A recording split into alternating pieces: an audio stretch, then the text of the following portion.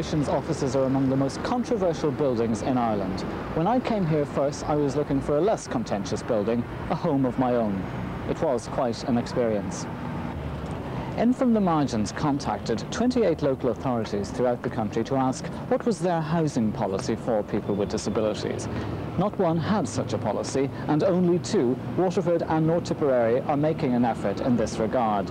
There are nearly 200 people with disabilities on local authority waiting lists for houses, and that's just the tip of the iceberg of people with disabilities who want to live independently.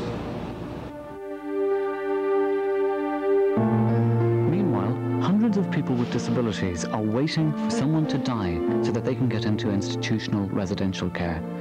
This has been called the most scandalous queue in Ireland, not least because nobody really chooses to go there. Many young people with disabilities live in geriatric and county homes, long-stay wards in general hospitals and in other residential care institutions. It is hard to live with dignity without privacy, without choice as to when we get up or go to bed, when we go to the toilet or who helps us in the bathroom. Not all residential care institutions are like this, but too many are. Residential care may be the only grim alternative to feeling like a burden in the family home. Well, I felt it was time to make a break. Um, parents forget that you're an adult and inclined to treat you as if you're a child. So I decided to leave. And um, first Cheshire home I went to was St. and um, I was there three and a half months. And it was really regimental, you run type thing. You get up at 8.30. Breakfast is at 9. You have to be down for it. And um, by half hour, you're probably finished. And um, after breakfast, there's a thing called what's done the changes where most of the residents go to the toilet and you have to go at certain times. You can't really go when you want to go because they said to be bringing people all day if that was the case. I fought. I was fighting non-stop, um, just for simple rights. You know, like people knocking on my door, um, asking to be dressed the way I want to be dressed, to be washed, to, to get food the way I wanted cooked. Uh, it, it was just one long, hard battle. And I was battling it on my own because uh, I was working and I felt I had this right to demand services, and I, all of the residents weren't working. And so they thought I was actually being an upstart I was pushing for things that were not necessary, simple things like demanding to stay up at night. You know, when I went there, it was bed at half eight because I couldn't put myself to bed. So, like, it was it was cruel. Uh, people think that uh, in here people have help, etc., to do the things that they want to do, but that's very, very fine. But in actual fact, the reality of it is, it makes them a hostage of wherever they might be in, in the sense that, right, there, there are staff available to assist people in and out of bed, to move from place to place within the four walls. But could you just imagine living your life in your own bedroom? I mean, it's not so cruel now, but it's not so great either. Like, there's still nothing for people to do all day long. And they're actually there isn't even demands made on them to get up and do something on the residents themselves. And I think that's very wrong because nobody gets anything for nothing in this life, you know. It's encouraging people to become dependent rather than independent. So in my book, it, it actually goes very much against the tide of, of opinion or of where, where people really want to go. Uh, it's also it institutionalizes people very quickly. And I'm not speaking about buildings institutionalizing people in terms of buildings. I'm speaking in terms of how it institutionalizes them in their mind, where they're all the time depending on everybody around them and the, the routine to make up their minds for them, literally uh, at every, at every hand's turn. What about your privacy in a situation like that? It was virtually not heard of. I mean, you could be in the shower and anyone could walk in. Well, it could be staff, but they seem to forget to close the door. Same when you go to the loo. It was a fight every day to get your dignity, privacy, or whatever. Just wouldn't have it at all. You know. Can you can you describe what would happen or what might have happened when you would say, "Could you close the door"? Well, the girls might close it and just you know wouldn't think about it, but the senior staff, which would be the nurses, which would be the older ones, would say, um, well, if there was another resident outside that was waiting to use the loo, they said they couldn't close it because they had to watch her, which seemed a bit stupid to me. Not as if she was going to go anywhere, you know. So um, often the door would be left slightly opened, you know. And if anyone was passing, you know, it was just a case they could see you. So every day this was going on. I used to just dread going to the toilet and I might seem a bit silly, but I did. Everything physically is done for you in the Cheshire Home. Every decision is made for you um, in relation to what time you get up, almost to what clothes you're going to wear today, um, what food you're going to eat, and in some cases, what time you're going to go to the toilet. Um, but your mind, you, you don't actually decide what road your life is going to go down because they've made all these deci- decisions for you. You're you just you're almost limp. You you don't know what you want at the end of the day. They they've actually taken away your whole being and made it easy, all right, but it's not good for you for life to be so easy. Uh, there was always orders. You wanted to do certain things, you would say, well, matron won't like that, or you can't do this. You know, because um, a lot of them seem afraid, to be quite honest, to when you're going to like, you get a list of rules from the other residents, don't do this, and matron won't like that. And um, they just seem generally very afraid of her, you know. Jackie's search for a place like home has ended in the new Cheshire home in Monkstown, County Dublin. Choice and control in the things she does is part of the worldwide demand of people with disabilities for the right to live independently. That doesn't mean doing everything yourself. Independent living means calling the shots, deciding what you want to do and when you want to do it, and enlisting the help of others as, when and how you choose.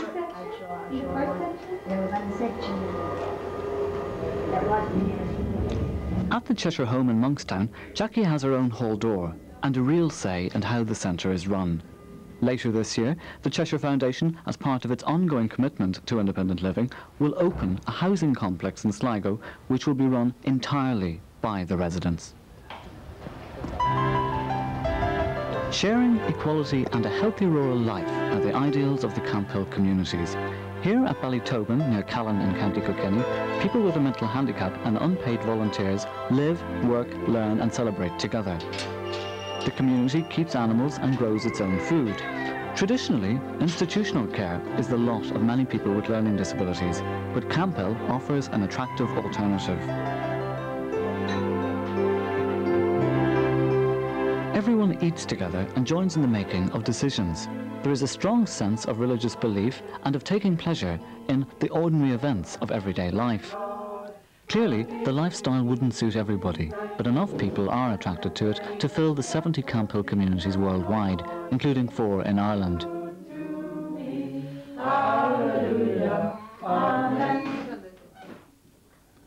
There are plans to extend the Camphill communities to involve people with mental illness, but there are no comparable options available to people with physical disabilities. And, as with so many innovative schemes in Ireland, Camphill relies on fundraising to make up the difference between government grants and the real costs. Camphill's vision of family life doesn't appeal to everyone. Some people prefer the freedom of their own space and the privacy of their own hall door. But because of current housing design, finding a suitable property can be a long, tedious process for people with physical disabilities, as Ursula Hegarty found. We looked for a solid four years before we found a house.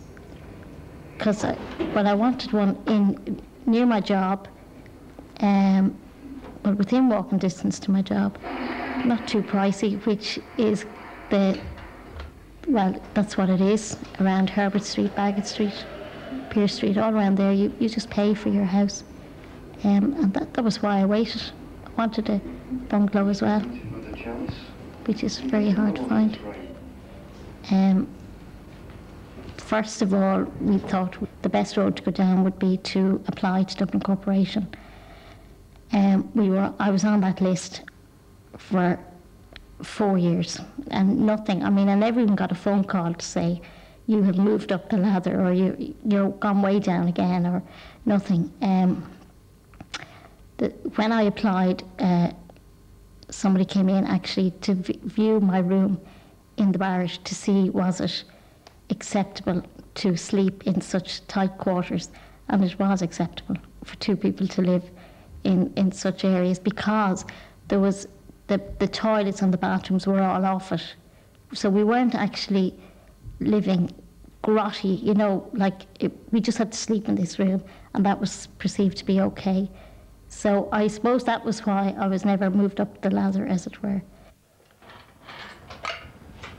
Despite her lack of progress with the corporation's housing department, Ursula persevered with her plans for independent living in a place of her own. I used to dream about it, you know. Um, I wouldn't like to be negative and say it's not an option or it's it's not even to be considered. Um, but if they do consider it, they're on their own. And it's very hard if you're on your own. Um, I wouldn't treat it very lightly. There's, there's a lot of new, even, even just basic things of paying a bill. I mean, when you're living in a Cheshire home, you're protected you never have to worry is, is the water going to be hot? Is there going to be enough milk for my tea? Because it's always there and you don't have to worry about if there's money in your pocket to pay for it. So there's just down to the, even the simplest things have to be decided and it's difficult.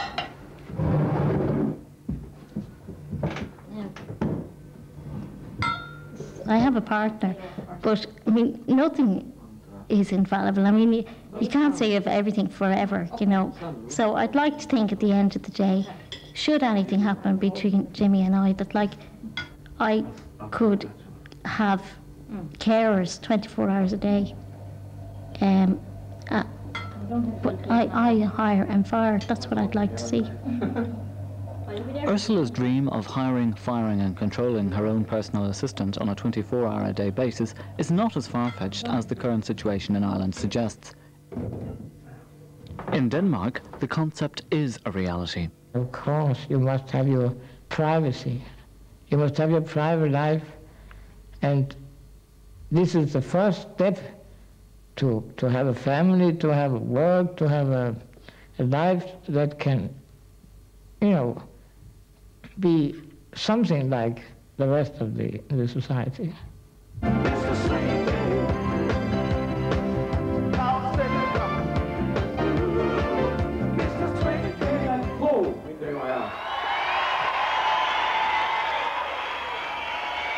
With overall responsibility for this rock concert is Evald Krog, who is president of the Muscular Dystrophy Association of Denmark. He is also the man who started up the independent living movement in Denmark 13 years ago. A dynamic organizer, Evald has a team of four personal assistants. Their help enables him to make his significant contribution to public life. On his frequent visits to Ireland, Evald brings two of his helpers with him. I can, I will not mention the names of airline companies that I don't travel with, but I have my favorites. Aer Lingus is one of them. I must say that uh, when I come back so often, it's not because I have to. It's because I think it's my second home. But I'm not living here every day, and as a tourist, I have many good friends in Ireland.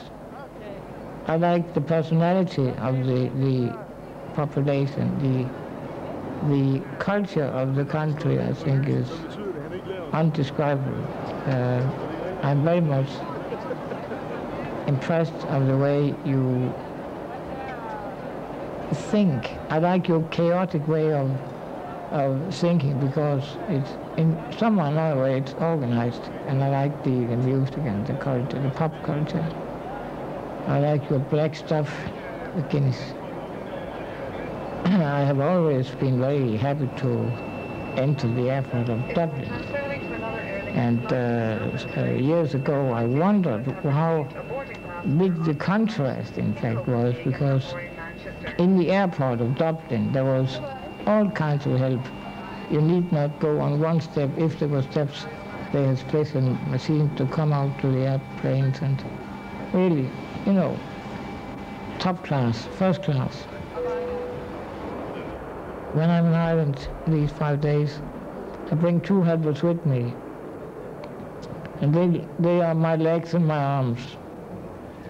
And this is necessary for me to travel around in the whole world. I mean, it's not uh, easy to be handicapped. I normally say it's not a catastrophe to have muscular dystrophy, but it's really unpractical. But on the other hand, I must admit, when I came outside the airport area, maybe there was a few things to talk about when we talk about the circumstances for people with different disabilities which I, which, which shocked, shocked me in, in many ways, I must say.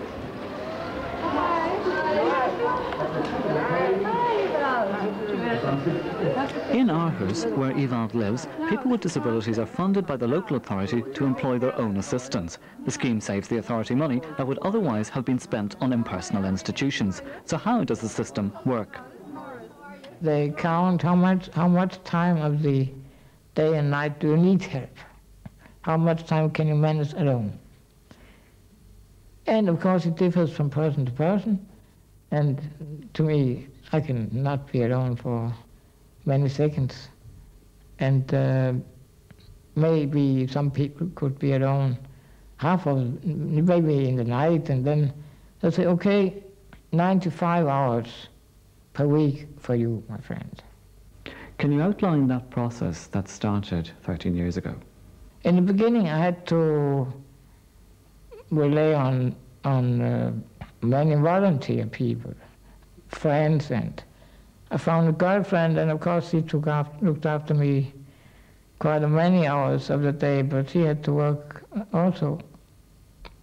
Little by little, I persuaded to get more and more hours per day.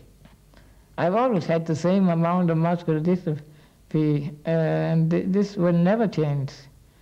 But uh, it's, it's, you know, it's like to make a good deal. I, I said, when I knew I got 40, I could get 40 hours, I said, I need 59. Then I knew they would say, okay, you'll get 40. They thought they sneaked me, or, you know, and I, I knew that I got 40 was better than 30. And now I have 168 hours per week because there are not more hours in the Danish week. Now, do you get a budget from your municipality and then decide how to spend that? There is a certain amount of money, and you go home and say, okay, I have such amount of money, I put an announcement, advertisement in the papers or whatever. In Denmark, we have an office where you can, where people can come and say, I, I would like to, to apply to be a helper, and the handicapped people can come and say, oh, I, I, I need uh, somebody uh, next weekend because my, my health is ill or whatever. My philosophy is to turn weakness to strength that weakness is strength.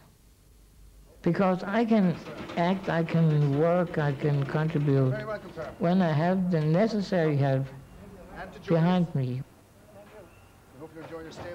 Supports like the Aarhus scheme are much needed but currently unavailable in Ireland. But Martin Naughton also lives independently with the assistance of a team of volunteers, which he has organised for himself. He plans to set up an independent living scheme in Ireland. I live alone, but I'm never on my own.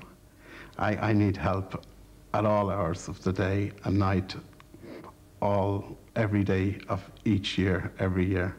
So many years ago, I wanted to live independently, and uh, I've been lucky. I set up a group of volunteers primarily uh, around me in my community, uh, and uh, it has worked really. It allows me to do the things I want to do not the things that necessarily need to be done, and that's terribly important. Uh, when I say that I need support and help at all, at everything, bar, I think, talking, I think they allow me to do that.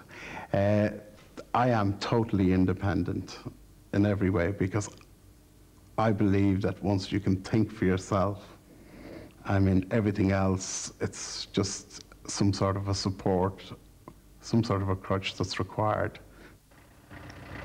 Ronan Hughes, one of his personal assistants, helps Martin with all aspects of his daily life.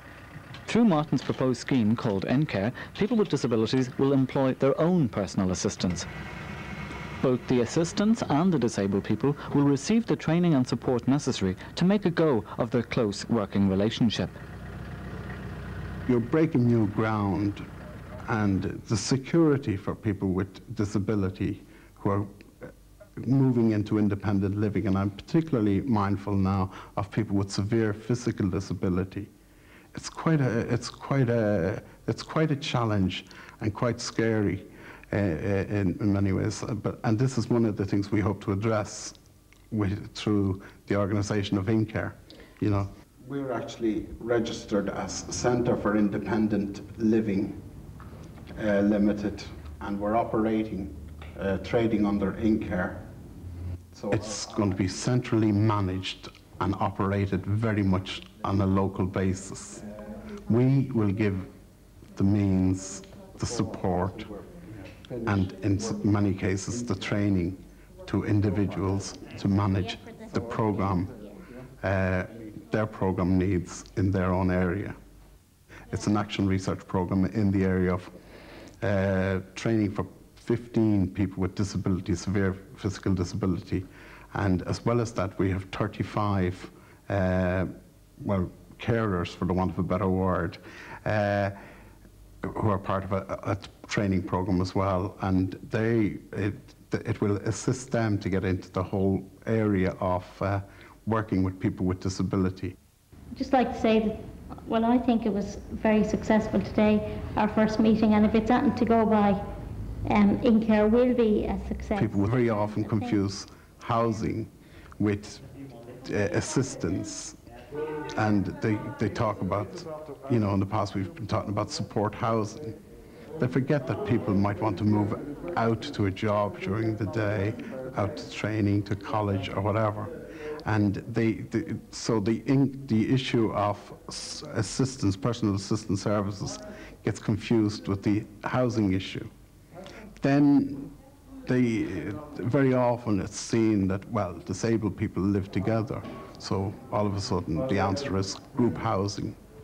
They require special this, special that, and special the other, which is, I mean, that's how uh, uh, these authorities often perceive the thing, and they're very, very wrong. As people with disabilities, we want choice and control over where we live and how we live. Schemes like InCare are encouraging developments, but touch only the tip of the iceberg. A massive increase in local authority building programmes and major changes in the design of new housing are needed. For years, successive governments have talked about the importance of having disabled people live in the wider community, but so far change has relied more on the energy of individuals than on the implementation of policy. Institutional care is still too many people's only option. And it's still only very few of us who can shut our own door, look around, and feel truly that there's no place like home.